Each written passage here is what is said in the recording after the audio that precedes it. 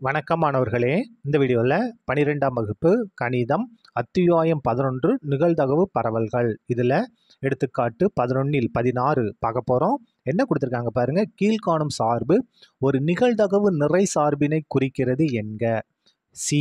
மதிப்பு கண்டுபிடிக்கணும் சராசரி மற்றும் பரவற்படியை கண்டுபிடிக்கணும். பாருங்கள் நிகழ்தகவு நிறை சார்பு அப்படின்னா இதில் இருக்கக்கூடிய எல்லா எஃப்ஆஃப்எக்ஸையும் கூட்டணும். கூட்டி வரக்கூடிய மதிப்பு என்னவாக இருக்கும்? ஒன்றாக இருக்கும். இது நிகழ்தகவு நிறை சார்பு. இதே எடுத்துக்காட்டு பதினொன்றில் பதினஞ்சில் என்ன இருக்கும்? நிகழ்தகவு அடர்த்தி சார்புன்னு இருக்கும். அப்போ அடர்த்தி சமயம் இதை தொகையிடணும். தொகையிட்டு மைனஸ் இன்ஃபிட்டி ப்ளஸ் இன்ஃபிட்டி தான் அங்கே என்ன வரும்? ஒன்று வரும். அது நிகழ்தகவு அடர்த்தி சார்பு இது நிகழ்தகவு நிறை சார்பு. நிறை சார்புனா எல்லா எஃப்ஆஃப்எக்ஸையும் கூட்டணும். கூட்டி வருது எதுக்கு சமமாக இருக்கும்? ஒன்றுக்கு சமமாக இருக்கும். கூட்டலாமா? எஃப் மதிப்பு சி ஸ்கொயர் ப்ளஸ் ரெண்டு சி ஸ்கொயர் மூணு சி ஸ்கொயர் நாலு சி ஸ்கொயர் மூணு சி ஸ்கொயர் ப்ளஸ் நான்கு சி ஸ்கொயர் ப்ளஸ் ஒரு சி ப்ளஸ் ரெண்டு சி மொத்த மதிப்பு என்ன இருக்கும்? ஒன்று வரும். கூட்டலாமா? ஒன்று சி ஒரு சி ஸ்கொயர் ரெண்டு சி ஸ்கொயர் மூணு சி ஸ்கொயர் ஒரு மூணு சி ஸ்கொயர் ஆறு சி ஸ்கொயர் பத்து சி ஸ்கொயர் பத்து சி ஸ்கொயர் ஒரு சி ப்ளஸ் ரெண்டு சி என்ன வரும்? மூணு சி இது இடத்துல கொண்டு வாங்க. மைனஸ் ஒன்று ஈக்குவல் டு ஜீரோ இதை நம்ம காரணிப்படுத்த போகிறோம் பாருங்கள் சி ஸ்கொயரோட கெழு பத்து மாறிலி உறுப்பு மைனஸ் ஒன்று பத்து பெருக்கல் மைனஸ் ஒன்று ஈக்குவல் டு மைனஸ் பத்து. சியோட கழு மூணு. ரெண்டு எண்களை பெருக்கும்போது மைனஸ் பத்து வரணும். கூட்டினாலோ கழிச்சாலோ என்ன வரணும்? மூணு வரணும். எந்த நம்பர் ஐ ரெண்டா பத்து. எதுக்கு மைனஸ் ஓரத்தில் மைனஸ் இருக்குது அப்போ சின்ன நம்பருக்கு மைனஸ் இந்த சின்ன நம்பர் மைனஸ் கொடுத்தா ப்ளஸ் மூணு வரும். இங்கே மைனஸ் கொடுத்தா மைனஸ் மூணு வந்துடும் சரியா? இப்போ பாருங்கள் அஞ்சே மைனஸ் ரெண்டு பேருக்குனா மைனஸ் பத்து. அஞ்சுலேருந்து ரெண்டு கழிச்சா மூணு. கரெக்டாக வந்துருச்சா? பை. இந்த ஸ்கொயர் இருக்கு இல்லையா? அந்த ஸ்கொயருக்கு உறுப்பில் அடுக்க விட்டுட்டு அடிமானத்தை எழுதணும். பத்து சி பத்து சி கேன்சல் பண்ணுங்கள் ஓரஞ்சு அஞ்சு ஈரஞ்சா பத்து. ஓ ரெண்டா ரெண்டு ஐ ரெண்டா பத்து. அப்போ என்ன இருக்குது ரெண்டு சி ப்ளஸ் ஒன்று ரெண்டு சி ப்ளஸ் ஒன்று இங்கே ஐந்து சி மைனஸ் ஒன்று ஈக்குவல் டு ஜீரோ ரெண்டாக பிரிக்க போகிறோம் ரெண்டு சி ப்ளஸ் ஒன்று ஈக்குவல் டு ஜீரோ ஐந்து சி மைனஸ் ஒன்று ஈக்குவல் டு ஜீரோ ரெண்டு சி ஈக்குவல் ப்ளஸ் ஒன்று இங்கே வந்தால் மைனஸ் ஒன்று சி ஈக்குவல் டு மைனஸ் ஒன்று பை ரெண்டு. இந்த இடத்துல ஐந்து சி ஈக்குவல் டு ப்ளஸ் ஒன்று சி ஈக்குவல் டு ஒன்று பை ஐந்து. இப்போ பாருங்கள் இது வந்து ஏற்புடையது அல்ல. இது வந்து என்னது? நமக்கு ஆன்சராக இருக்காது மைனஸில் இருக்குது ஏன்னா நிகழ்தகவு நமக்கு எப்படி இருக்கும்? ஜீரோவிலேருந்து ஒன்றுக்குள்ளே தான் இருக்கும். ஜீரோ வரும் ஒன்று வரும். அதுக்கு இடைப்பட்டதாக இருக்கும். அப்போ இந்த மைனஸில் வர வராது. தேர் ஃபோர் சியோட மதிப்பு என்ன? ஒன்று பை ஐந்து தான். நம்ம என்ன கண்டுபிடிச்சிட்டோம்? சியோட மதிப்பை கண்டுபிடிச்சிட்டோம். முதல் இது முடிஞ்சது. இப்போ பாருங்கள் அந்த அட்டவணையை திரும்ப எடுத்துங்க எழுதிக்கலாமா? நமக்கு நல்லாயிருக்கும். சராசரி பரவற்படி கண்டுபிடிக்கிறதுக்கு எக்ஸு எக்ஸோட மதிப்பு ஒன்று இரண்டு மூன்று நான்கு ஐந்து ஆறு. அதுக்கு அடுத்தது எஃப் ஆஃப் எக்ஸோட மதிப்பு. பாருங்கள் சி ஸ்கொயர் ரெண்டு சி ஸ்கொயர் மூணு சி ஸ்கொயர் நாலு சி சி இது. ரெண்டு சி இருக்கா? அப்போ முதல்ல இது வந்து சியோட மதிப்பு ஒன்று பை ஐந்து. அப்போ சி ஸ்கொயர் ஈக்குவல் டு ஒன்று பை ஐந்து ஸ்கொயர் ஒன்று ஸ்கொயர் ஒன்று தான் அஞ்சு ஸ்கொயர் பண்ணால் இருபத்தஞ்சு. அப்போ பாருங்கள் சி ஸ்கொயர் சி ஸ்கொயரோட மதிப்பு ஒன்று பை இருபத்தி ஐந்து.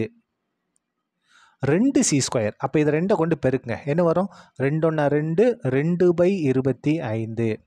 அதுக்கடுத்து மூணு சி ஸ்கொயர் சி ஸ்கொயர் மதிப்பு இது. அப்போ இதை மூணை கொண்டு பெருக்குனா ஒரு மூணா மூணு. மூணு பை இருபத்தி ஐந்து. அதுக்கு அடுத்தது நாலு சி ஸ்கொயர் இதை நாலு கொண்டு பெருக்குங்க நாலு ஒன்றா நாலு. நாலு பை இருபத்தஞ்சி. இந்த ஒன்று பை இருபத்தஞ்சி என்னது? சி ஸ்கொயரோட மதிப்பு.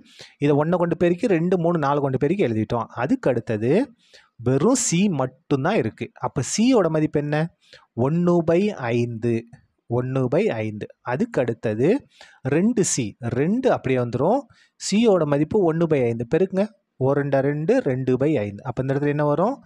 ரெண்டு பை ஐந்து. இதான் என்னது சி மதிப்பை கண்டுபிடிச்சி நமக்கு கிடச்சிருக்கக்கூடிய நிகழ்தகவு நிறை சார்பு. இதிலிருந்து தான் நம்ம என்னென்ன கண்டுபிடிக்கணும்? சராசரியும் பரவற்படியும் நம்ம கண்டுபிடிக்க போகிறோம் கண்டுபிடிக்கலாமா? பாருங்கள் இதுக்கு சின்னதாக ஒரு அட்டவணை போட்டுருவோமா? இந்த இடத்துல எக்ஸு எஃப் ஆஃப் எக்ஸ் அதுக்கு அடுத்தது நமக்கு என்ன வேணும்னா எக்ஸு எஃப் ஆஃப் எக்ஸ் வேணும். அதுக்கு அடுத்தது X square F of X வேணும் இந்த எல்லா மதிப்பும் நமக்கு வேணும். சராசரியும் பரவற்படியும் கண்டுபிடிக்கிறதுக்கு. இப்போ பாருங்கள் எக்ஸோட மதிப்பு ஒன்று இரண்டு மூன்று நான்கு ஐந்து ஆறு. சரியா? இது வரைக்கும் வரலாம். இது வரைக்கும் இருக்குது அதோட மதிப்பு எடுத்து எழுதுங்க. ஒன்று பை இருபத்தி ஐந்து ரெண்டுக்கு நேரம் என்ன இருக்குது ரெண்டு பை இருபத்தி ஐந்து மூணுக்கு நேரம் என்ன இருக்குது மூணு பை இருபத்தி ஐந்து. நாலுக்கு நேரம் என்ன இருக்குது நாலு பை இருபத்தி ஐந்து. ஐந்துக்கு நேரம் என்ன இருக்குது ஒன்று பை ஐந்து. ஆறுக்கு நேரம் ரெண்டு பை ஐந்து. அப்படியே ஒரு அட்டவணையை போட்டோம்னா நமக்கு எடுத்து எழுதுறதுக்கு ஈஸியாக இருக்கும். பாருங்கள் நீங்கள் ஸ்கேல் பென்சிலை வச்சு அழகாக போட்டுக்குங்க. சரியா?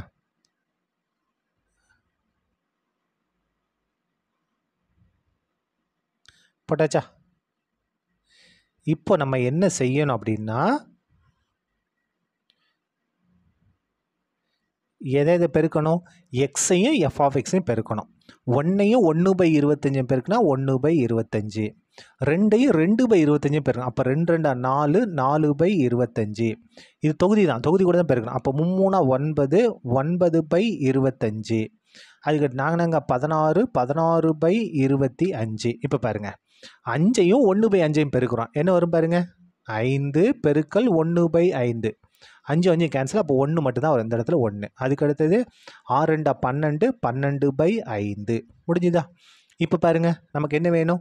X square F of X வேணும். அப்போது எக்ஸ் ஸ்கொயரையும் எஃப் ஆஃப் எக்ஸையும் பெருக்கணும். அப்போ நம்ம என்ன செஞ்சுக்கலாம் பாருங்கள் எக்ஸையும் எக்ஸு எஃப் ஆஃப் எக்ஸையும் பெருக்க போகிறோம் என்ன வரும்? எக்ஸ் எக்ஸையும் பெருனா X square F of X வந்துருமா? சொன்னது புரிஞ்சா பாருங்கள் எக்ஸ் எஃப் ஆஃப் எக்ஸை எக்ஸையும் பெருக்கிறோம். அப்போ X X பெருனா X square F of X வந்துடும் அப்போ என்ன செய்ய போகிறோம் இதையும் எக்ஸையும் பெருக்க போகிறோம் பெருக்கலாம். அங்கே இருக்குது பாருங்கள் எக்ஸ் எஃப் ஆஃப் எக்ஸையும் இதையும் பெருக்கிறோம். பெருக்க நமக்கு என்ன கிடச்சிடும் இந்த இது கிடச்சிரும். அப்போ ஒன்றையும் ஒன்று பை இருபத்தஞ்சும் பெருக்குனா ஒன்று பை இருபத்தஞ்சு. இந்த இடத்துல. இருநாங்க எட்டு. எட்டு பை இருபத்தஞ்சு. அதுக்கடுத்தது மூணு ஒம்பதா இருபத்தி ஏழு இருபத்தி ஏழு பை இருபத்தஞ்சு. அதுக்கு அடுத்தது நாலு பதினாறா? என்ன வரும்? முப்பத்தி ரெண்டு அறுபத்தி நாலு அறுபத்தி நாலு பை இருபத்தி ஐந்து அதுக்கு அடுத்தது அஞ்சொன்னா ஐந்து. வெறும் ஐந்து மட்டும்தான்.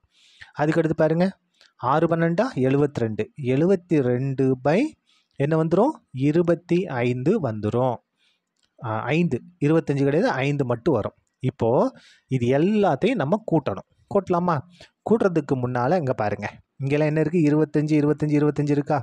ஆனால் இங்கே மட்டும் என்ன இருக்குது ஒன்று இருக்குது அப்போ என்ன செஞ்சுக்கலாம்? பகுதியில் நமக்கு இருபத்தஞ்சி வரணும். அப்போ இருபத்தஞ்சி பை இருபத்தஞ்சி கொண்டு பெருக்கிடுங்க அப்போது இருபத்தி ஐந்து பை இருபத்தஞ்சி. அதே மாதிரி இங்கே நமக்கு என்ன வரணும்? பகுதியில் இருபத்தஞ்சி இருந்தால் ஈஸியாக இருக்கும். அஞ்சு தான் இருக்குது அப்போ அஞ்சு பை அஞ்சை கொண்டு பெருக்கிடுங்க அப்போ என்ன வரும்? பன்னெண்டு அஞ்சு அறுபது அறுபது பை இருபத்தஞ்சி. அதே மாதிரி தான். இங்கே பாருங்கள் இங்கே எல்லாமே நமக்கு என்ன ஒன்று இருபத்தஞ்சி வரணும். ஆனால் என்ன இருக்குது ஒன்று தான் இருக்குது இல்லையா? அப்போ இருபத்தஞ்சு பை இருபத்தஞ்சை கொண்டு பெருக்குங்க. அப்போ என்ன வரும்? இருபத்தஞ்சு அஞ்சா நூற்றி இருபத்தஞ்சி ஒரு இருபத்தஞ்சா இருபத்தஞ்சி. இந்த இடத்துல பாருங்கள் வெறும் அஞ்சு மட்டும்தான் இருக்குது நமக்கு என்ன வரணும்? இருபத்தஞ்சு வரணும். அப்போ அஞ்சு பை அஞ்சை கொண்டு பெருக்கிடுவோம். என்ன வரும் பாருங்கள் பகுதியில் இருபத்தஞ்சி.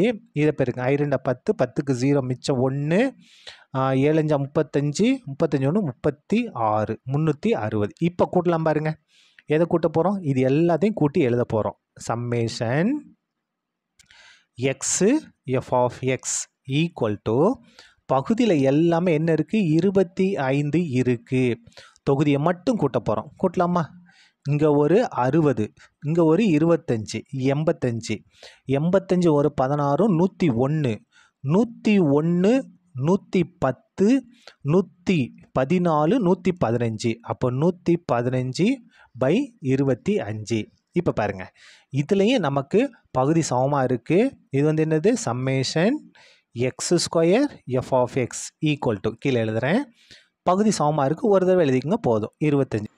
இப்போது தொகுதியெல்லாம் நம்ம கூட்ட பகுதி சமமாக இருக்குது இருபத்தஞ்சி. எழுதிட்டோம். பாருங்கள் என்ன இருக்குது பாருங்கள் ஒன்று எட்டு இருபத்தி ஏழு அறுபத்தி நாலு நூற்றி இருபத்தஞ்சி முந்நூற்றி அறுபது. கூட்டுவோமா?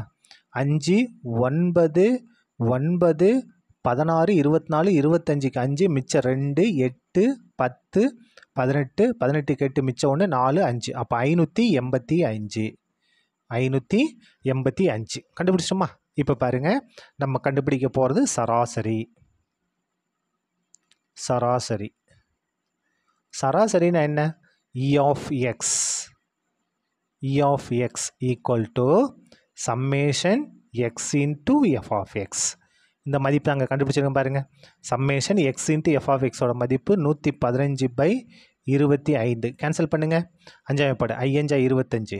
ஈரஞ்சா பத்து மிச்சம் ஒன்று பதினஞ்சு மூவஞ்சா பதினஞ்சு. கேன்சல் பண்ணுங்கள் ஓரஞ்சா அஞ்சு நாலஞ்சா இருபது மிச்சம் மூணு. மூணு அஞ்சு கொண்டு வகுக்க முடியாது. ஜீரோ சிதா முப்பது. இங்கே புள்ளி வச்சாச்சு. அப்போ ஆரஞ்சா முப்பது. ஈக்குவல் டு நாலு புள்ளி ஆறு. சராசரியை கண்டுபிடிச்சாச்சு. அதுக்கு அடுத்தது பரவற்படி. என்ன கண்டுபிடிக்கணும்? பரவற்படி தான். பரவற்படி. கண்டுபிடிக்கலாமா? பரவற்படிக்கு பாருங்கள் ஃபார்முலா என்ன அப்படின்னா V of X equal to E of X square minus E of X the whole square இது வந்து என்னென்ன இதுக்கு formula summation X square into F of X minus இதுக்கு வந்து summation X into F of X the whole square இதான் formula equal to இந்த மதிப்பு நம்ம கண்டுபிடிச்சிருக்கோம் பாருங்கள் என்ன கண்டுபிடிச்சிருக்கோம்?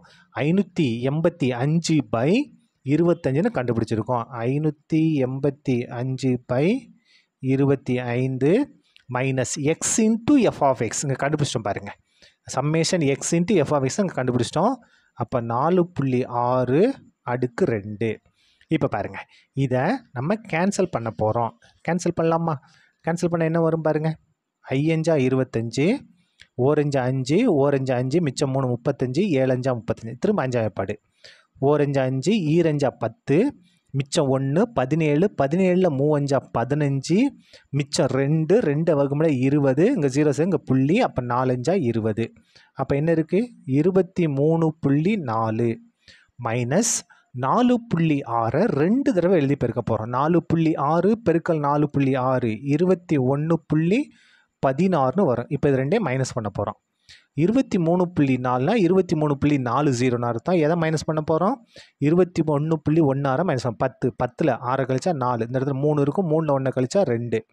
இந்த இடத்துல மூணு இருக்குது மூணில் ஒன்று கழிச்சா ரெண்டு. ஜீரோ வந்துடும் அப்போ ரெண்டு புள்ளி ரெண்டு நாலு. ரெண்டு புள்ளி ரெண்டு. இதான் என்னது? பரவற்படி. இதோட இந்த கணக்கும் முடிந்தது. நன்றி.